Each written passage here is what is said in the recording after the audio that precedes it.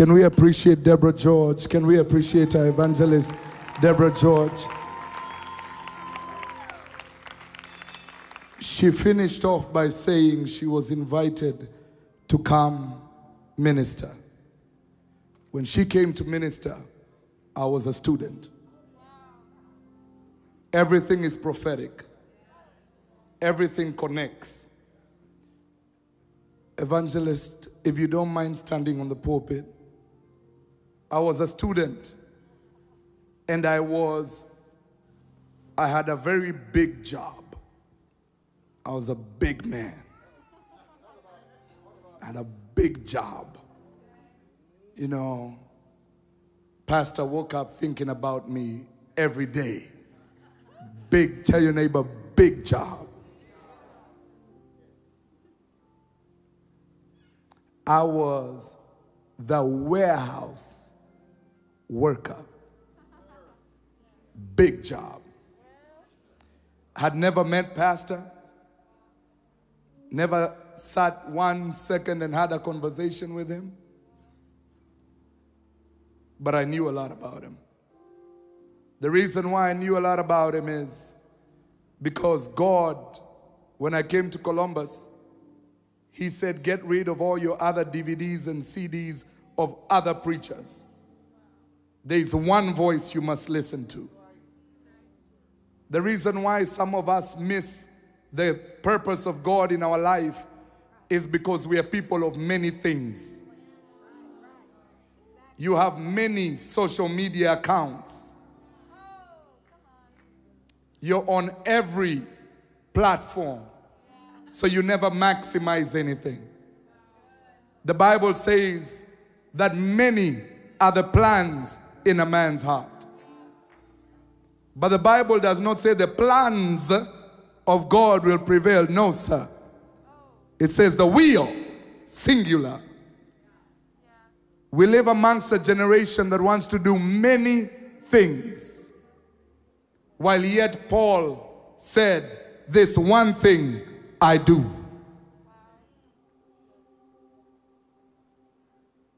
Evangelist Deborah has mentioned the power of focus, the necessity of focus.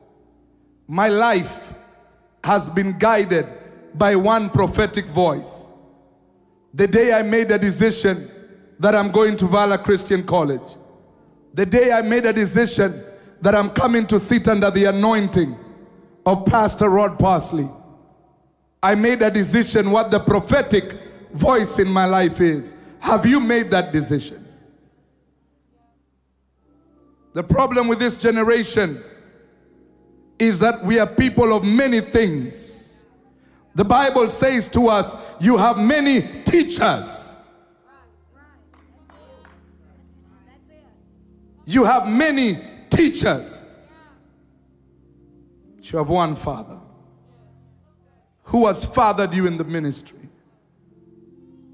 I was a warehouse worker, and every day I worked about 12 hours. My wife can attest to it 13, sometimes 14, depending on what was happening in the ministry.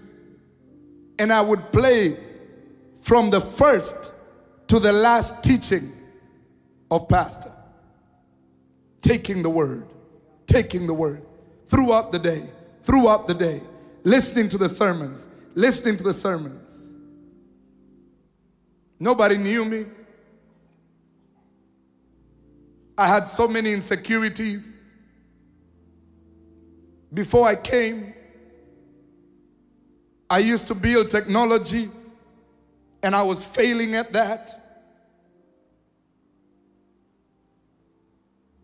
But one day, when I got focused, when I got focused, this one thing I do. What's your one thing? The Bible says, My sheep know my voice. What's the one voice that's a dominant voice in your life? I can give you testimonies of when one word that pastor has said has guided my life. One word. I remember one day we were on a road trip together traveling Because I'll never let him go anywhere alone. I'll chase him down. Ain't no shame in my game. Chase him down. One day he said, This generation needs to be taught. Simple teaching. And that day I committed myself to the teaching of the Word of God. I've read so many books by William Booth, so many books of the ancient in the last couple of months and years. My wife can tell you during quarantine, it was book after book after book. I might as well read something, I'm at home. But I would have never gotten there if it wasn't for one voice. What's the one voice that guides you? What's the one voice that shows you the way? Oh, but but I listen to the voice of God, do you? The Bible says, How are you going to love a God you can not see when you can't love your brothers that you can see? The Bible says, How shall they hear if they have no preacher? Elisha would have never been Elisha without Elijah. Stop lying to yourself. It matters who lays hands on you. Timothy would have never been Timothy if it wasn't for Paul. Stop lying to yourself. There are no self made men in the kingdom of God. It doesn't work that way. Jesus needed John the Baptist, Elisha needed Elijah, and you need a prophetic apostolic voice that approves your gifts, that approves the callings of God, that looks at you in the eyes and tells you you can do greater and tells you you can go further and sets the pace for your destiny. Matters what you're connected to. It matters. Matters. Nothing great about my family apart from who we are connected to. But the last couple of months have disconnected so many people. So many people on that day, Evangelist Deborah George was standing right there. I was right here, I've written about it. Had come for chapel. I loved the altars. I was right here, praying, praying, praying. And she looked at me and she was preaching about relight the fire. I'll never forget it. Relight the fire relight the fire. And I was telling God, light a fire on the inside of me. I'm about to graduate. Lord, light a fire on the inside of me. I'm about to finish my time. What did you bring me here for? You may not hear him in the first year. You may not hear him in the second. But just because you haven't had him doesn't mean he's not about to speak. Sometimes God will hold back the whole plan because He knows you cannot bear it. The Bible says, I have so many things to tell you, but you cannot bear them. So, silence is that God cares. And the Bible says the footsteps of the righteous are ordered by the Lord. Stop worrying about what the plan is for 2022. You should worry about what has God asked you to do today. If you can't obey God with coming to an altar, don't expect to obey God with going to the nations. I'm going to say that one more time because your neighbor missed it. If you can't obey God with coming to the altar, if you can't obey God with showing up in class, if you can't obey God with clapping your hands, lifting up your voice, shouting, spinning, don't expect to obey God when it comes with going to the nations. It's the little things. My God, I wish I would shake you. It's the little things. I've been on this journey a while now. I've been at it a while. I lead several churches around the world. Church leaders who are almost twice my age. And I've come to find out life is made of the little things. It's the small things. Saul, King Saul, lost the throne over a little decision. Over a little decision. you you must become a master of the little things. You must become a master of making small, consistent, good decisions.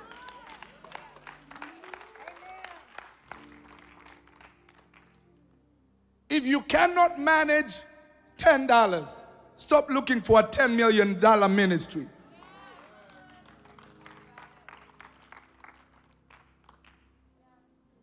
Can manage a little pocket money. Do, do you know ministry? Oh.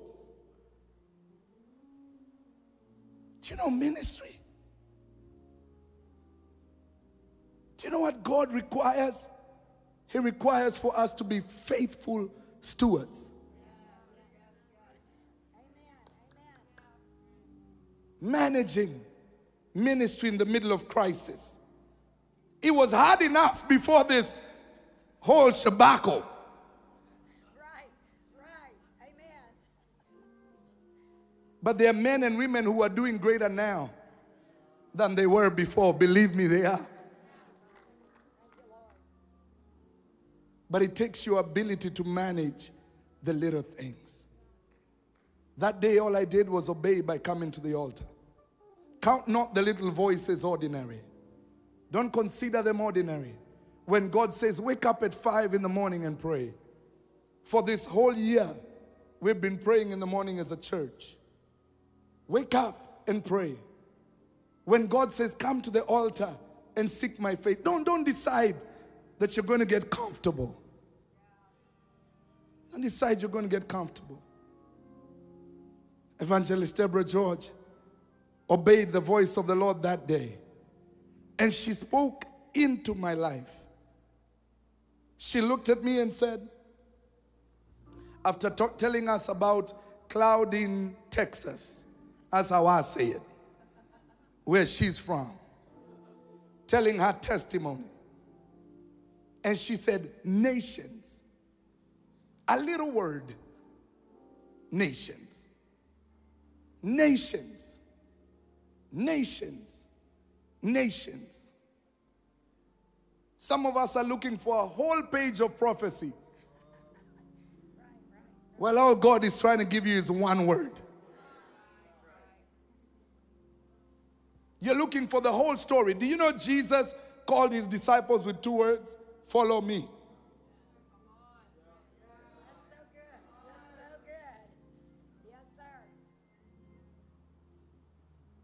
The moments the little things.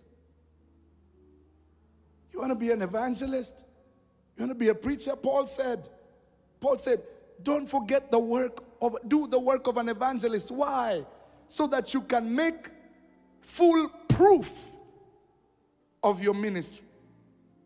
Your ministry is proven by your ability to evangelize, not your ability to preach. There are many preachers who cannot win one soul.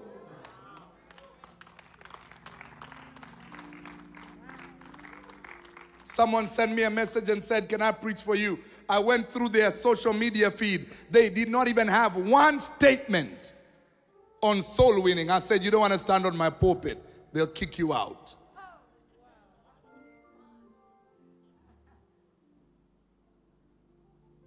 You're not called to be a motivational preacher.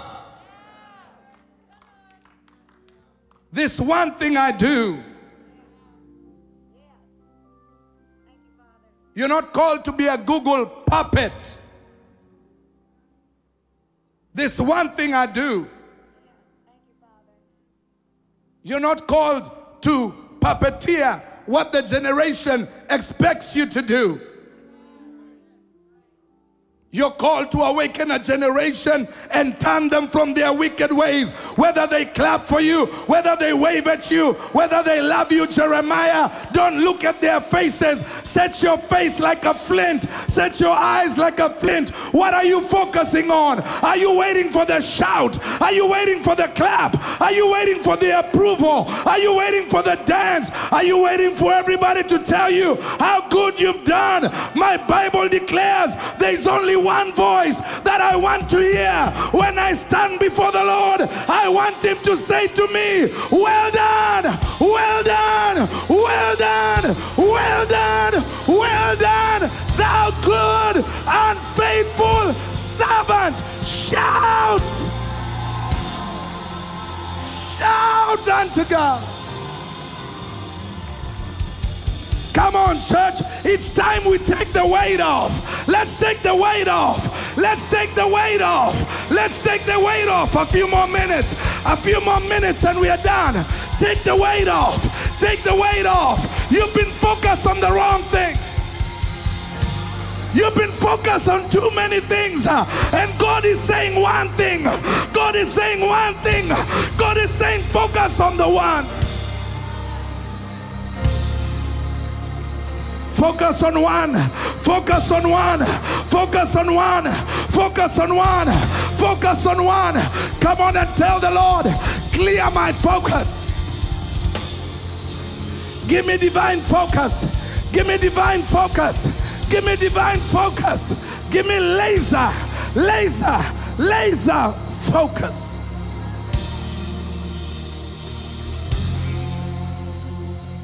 Too many things. Too many. Many things. One word nations. And today, I live in it. Today, I have a list of people waiting for churches to be open. But I had to be obedient in one. The Bible is a book of focus because the Bible has one message. That's a message of Jesus Christ.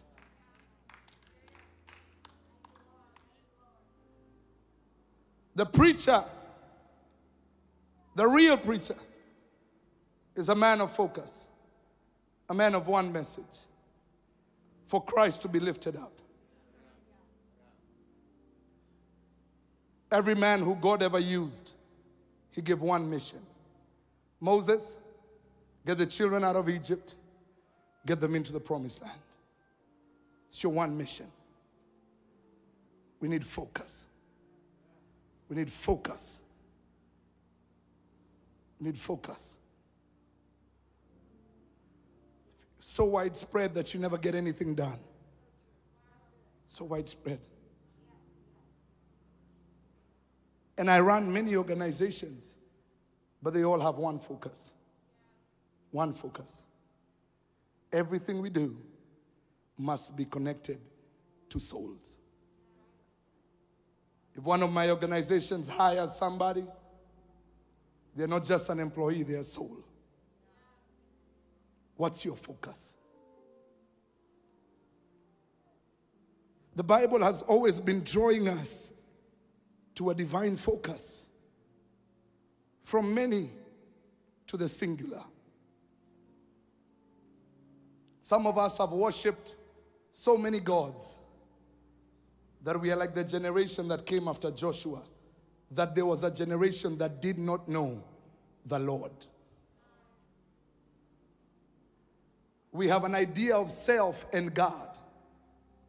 We have a self made God who's a little bit of Buddha, a little bit of Krishna, a little bit of secular humanism, a little bit of Islam, a God who the whole world accepts.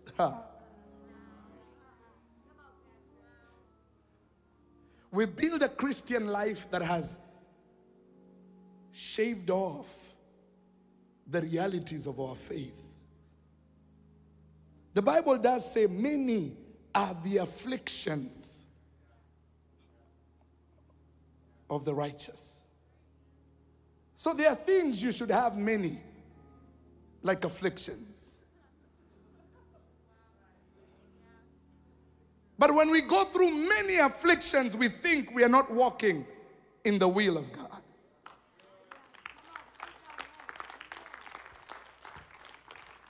When we are persecuted in the streets by many people, well, God must have not called me because many people are against me. Nobody is accepting me. Please. Well, I tried to go to Bible college and it was hard. There were too many classes. How about this? I thought Bible college will be full of many Christians, but I found out well,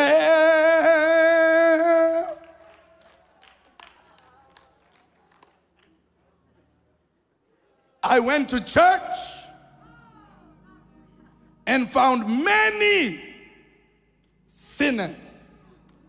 What do you expect when Jesus said, Jesus, friend of sinners, men and women who are broken are drawn to the light of Jesus Christ. Men and women, many, many, many. If I be lifted up, I will draw many.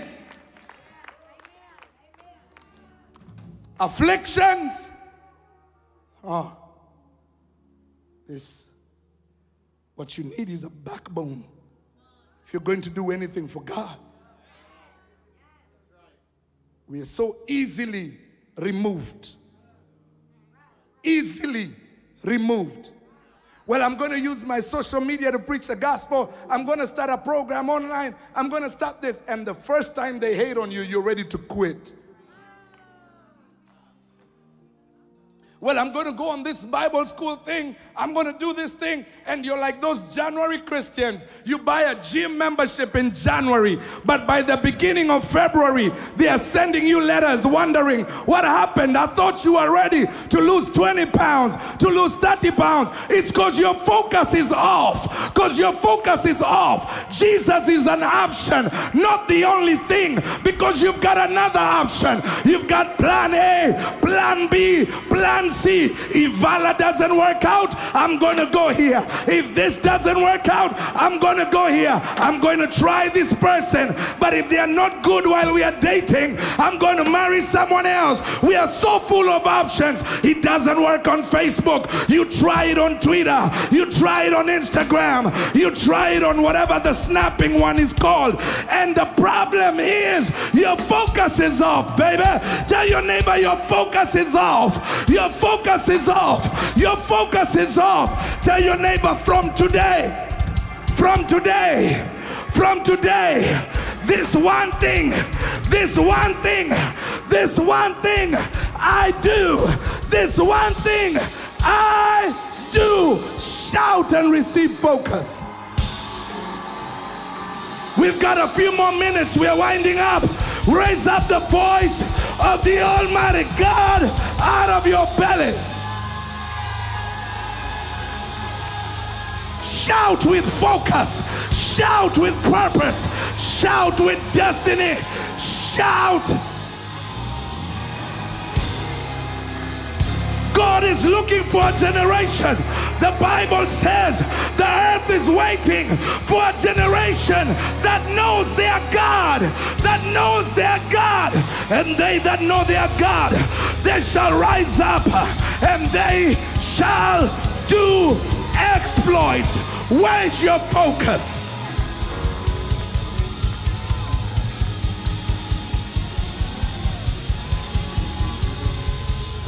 divine focus. Focus. Focus. This one thing I do. Somebody caught it. This side, this side caught it. It's one thing I do. It's one thing I do. You're doing the most. What's your one thing? What's your one thing? What's your one thing?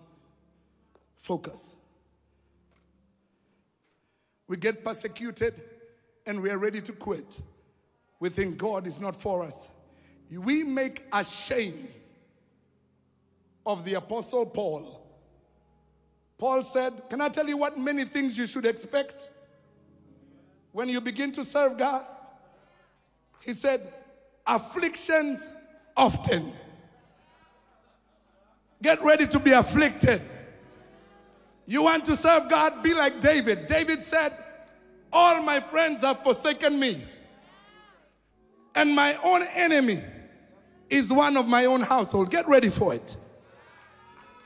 Get ready for many people to despitefully use you.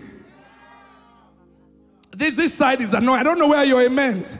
I don't know where your amens went. I said, get ready for many people to despitefully use you. Get ready to be rejected. Get ready for them to tell you that you do not know God. Get ready for them to tell you that you're not called, you're not chosen. Paul said, in hunger often. Paul was in so much hunger that he said, I might as well fast. I no food around, so I might as well count my suffering into sacrifice. Get ready to turn suffering into sacrifice. Get ready to turn suffering. I thought I'd have a shout right there. I thought I'd have a shout right there. I thought I'd have a shout right there. The disciples said in the book of Acts, they were persecuted all around. They went to this city, they were persecuted. They went to this city, they were persecuted. The Bible says many floggings. They were whipped, they were flogged. Do you know what they did? They went into their dorm room and began to cry. Well, God may not be with us. Well, God must not be with us. And they went to the corner and began to get into depression. Do you know what the Bible says? No, sir. The Bible says they went into their prayer closet and they thanked God that they were counted worthy. Ah, feel the Holy Ghost. Sir. They thank God that they were counted worthy to be persecuted. They were counted worthy to be talked about. They were counted worthy to suffer for the gospel. If that's you, shout now. Counted worthy. Count us worthy. Count us worthy. The count us worthy. Worthy to suffer. Worthy to suffer. Worthy to suffer. Worthy to lose. Worthy to lose worthy to lose, to lose some friends, to lose some friends. I'm worthy. I'm worthy to lose, to lose my dream, to lose my desires, to lose my passions. Is there somebody who's ready to go through it for God? To go through it for God? To go through it for God? I feel my help coming. The anointing of God is in this room. The anointing of God is in this room. Are you ready? Nobody promised it was gonna be easy. Nobody said the way was gonna be easy. They're going to hate on you. They're gonna talk about you. Get ready, get ready, get ready.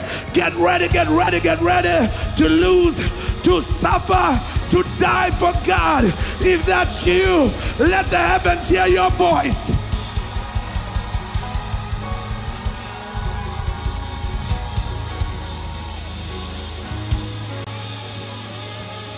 I'm ready to lay it all down. I'm ready to lay down my plans. I'm ready to lay down the vision. I'm ready to put many things at the altar so that I may take up one thing.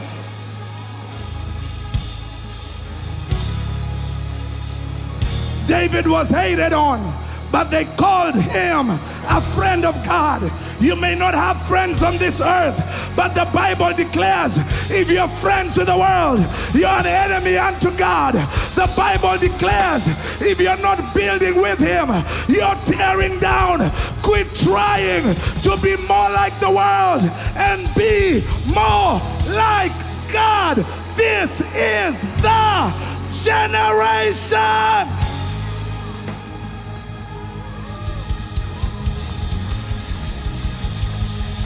We are done, we are done, we are done, we are done.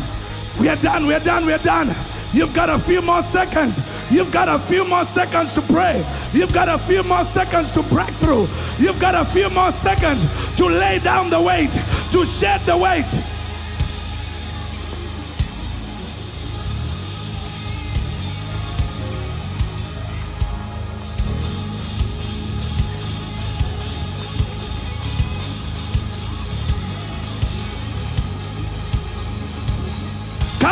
Judah, where, where are those who say, I'll go through it? I'll go through it. The Bible says that Caleb was of another spirit. Where is Caleb? Where is Joshua? I don't care about my reputation. The Bible says I am of no reputation. I'm of no reputation. We didn't come to play with it. We came to declare the name of Jesus.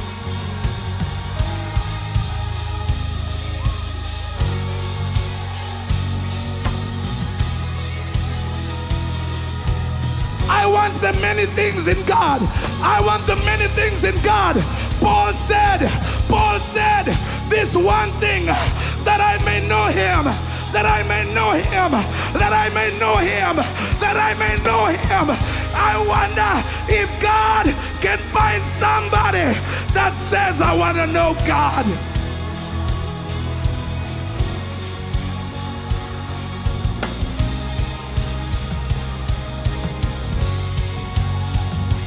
We are done, we are done, we are done.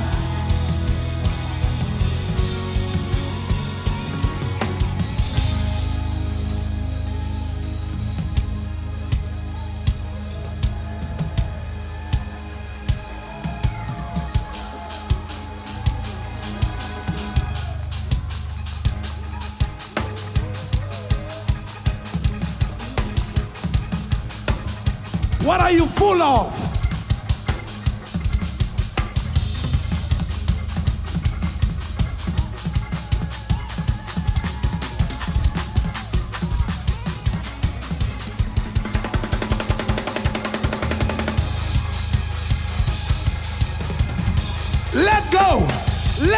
Your ambition. Let go of your self desires. Let go. Let go of your comparison. Let go of jealousy. Stop looking at someone else's social media and look in the Word of God. Stop looking at someone else's Facebook and look in the book and see what God can do through you.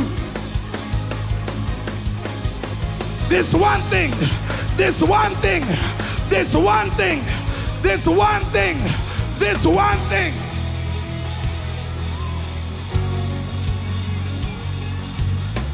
And God has said to somebody who's watching us right now that you've got one thing to do, and that's get to Valor Christian College. That's get to Valor Christian College. You're waiting for many instructions. This is your next instruction. This is your burning push. Get to the altars of Valor Christian College. Call that number. Call that number and get to Valor Christian College. Obey in the small things.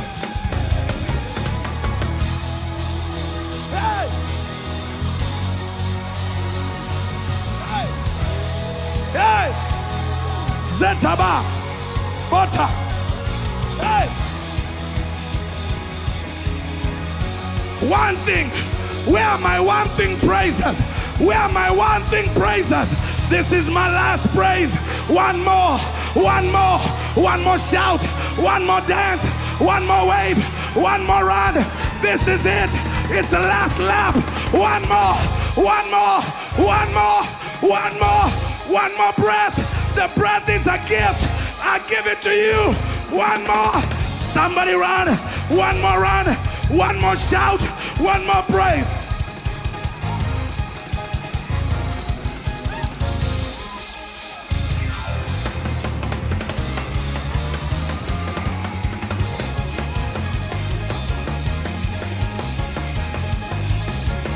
Come on, Valor.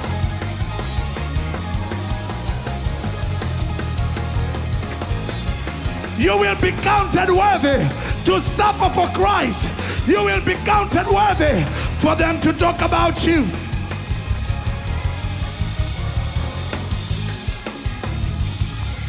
I see somebody who saved the best for last. If all I have is one more breath, I'm gonna use it to praise you. I'm gonna use it to win souls.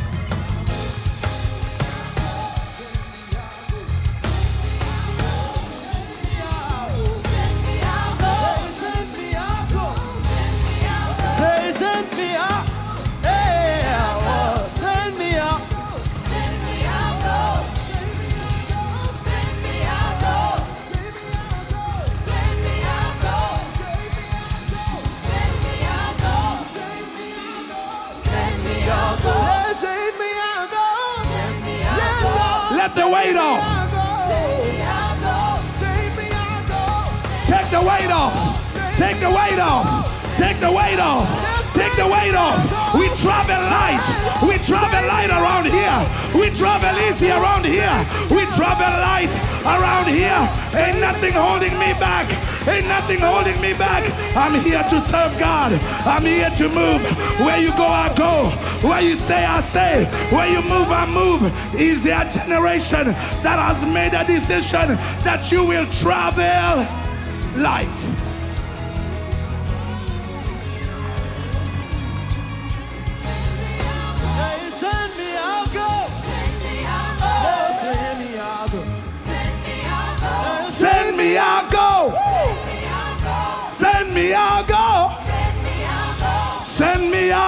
Go. Save me, I'll go. Send me, I'll go. Save me, I'll go.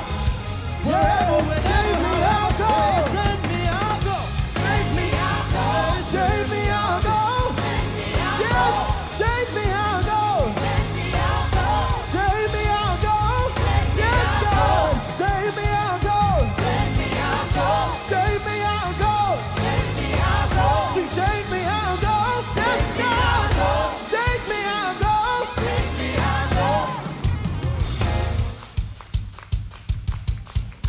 1 Corinthians 11 23. How many of you are ready to be made ministers? How many of you are ready to be made evangelists? The Bible says, I appeared to you to make you a minister and a witness. You've had your focus on the wrong thing. Been focusing on how many people are clicking the light, the like button. What if no, not one person likes your video while you're alive? Then, when you're gone, a generation catches wind and catches up with what you already knew. And out of that generation, just one goes to your Facebook and sees something that you put up. You're looking at the wrong thing. You're looking at the wind. The Bible says, They that observe the wind never sow. Looking at the wrong thing. You should be looking at obedience. The Bible says, looking unto Jesus, the author and the finisher of our faith. God starts it, He will finish it. We've been full of many things. But as I close, I want to show you what Paul was full of. Second Corinthians chapter 11, verse 23. He says, Are they ministers of Christ? Are they ministers of Christ? I speak as a fool. I am more. I'm more than a minister. And let's see why he said he was more.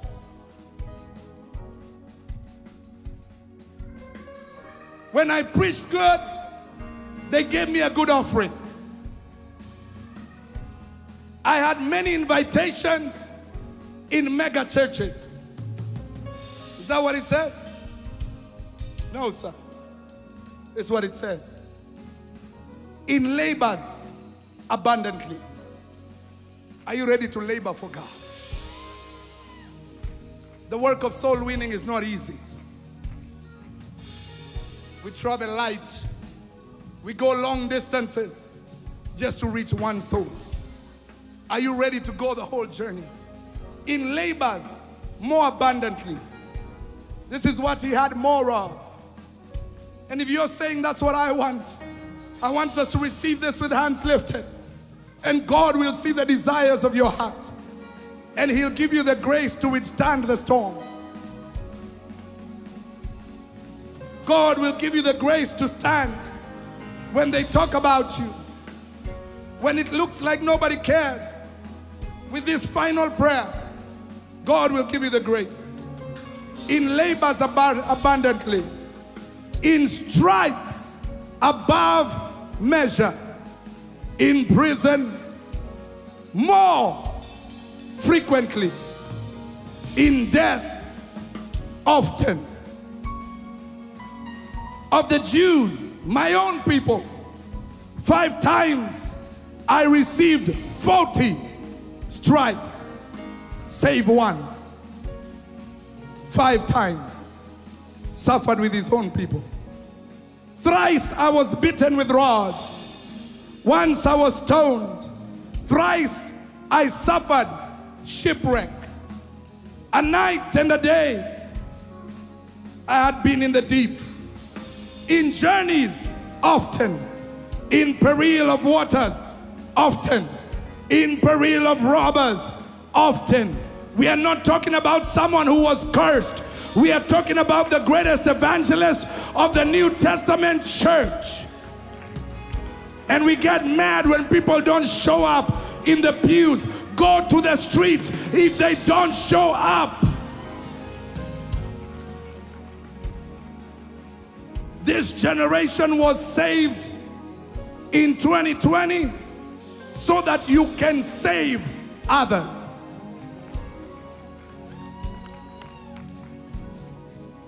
It's time to go. It's time to go out.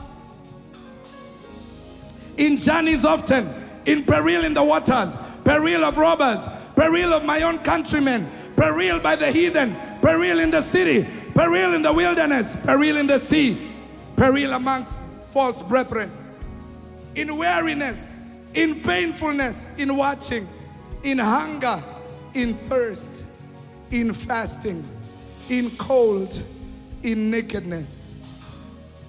You want to be used by God? Take out all those pictures of shiny suit preachers on a pulpit and put Second Corinthians 11 up on the wall. But you know what Paul says his biggest burden is? The care for the church. The care for the church. In this season, God is looking for a generation that's bold enough to be persecuted for Him. Bold enough to be talked about online. In this cancel culture, when they cancel you, it's a testament. The Bible says, when men, when men despitefully use you,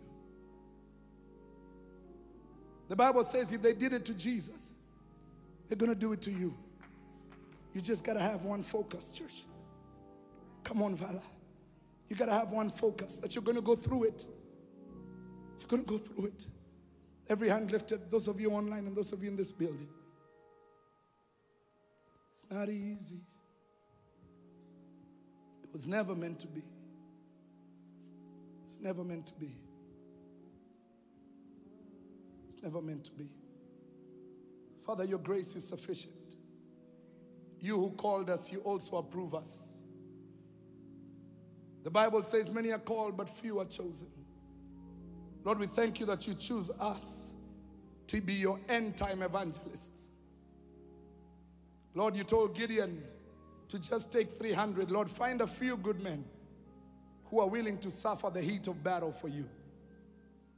Find a few good men who will lay hold of the altar and not let go until you move. Father, I pray over everyone under my voice that the zeal of the Lord shall perform the promises of God in our life.